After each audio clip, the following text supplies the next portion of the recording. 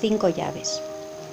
Decía Eduardo Galeano, en uno de los pasajes del libro de los abrazos, en los suburbios de La Habana llaman al amigo mi tierra o mi sangre. En Caracas el amigo es mi pana o mi llave, pana por panadería, la fuente del buen pan para las hambres del alma, y llave por... llave por llave, me dice Mario Benedetti. Y me cuenta que cuando vivía en Buenos Aires, en los tiempos del terror, él llevaba cinco llaves ajenas en su llavero. Cinco llaves de cinco casas, de cinco amigos, las llaves que lo salvaron.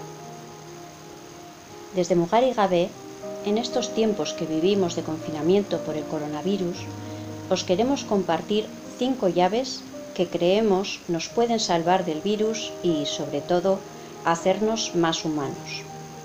La primera llave sería la salud como derecho humano, lo que implica construir y defender una sanidad pública potente y sin recortes. La segunda, la solidaridad entre pueblos y entre personas, las conozcamos o no.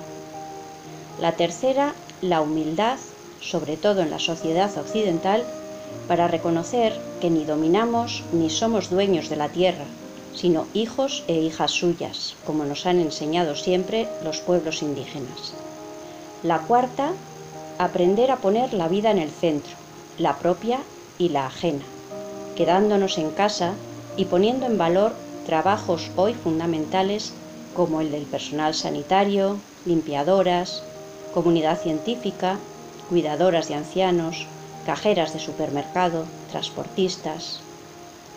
Y la última llave, la sabiduría para distinguir lo importante de lo superfluo, lo que nos hacen creer que necesitamos y lo que de verdad nos hace felices. Ojalá como humanidad aprendamos a nunca más olvidar estas llaves.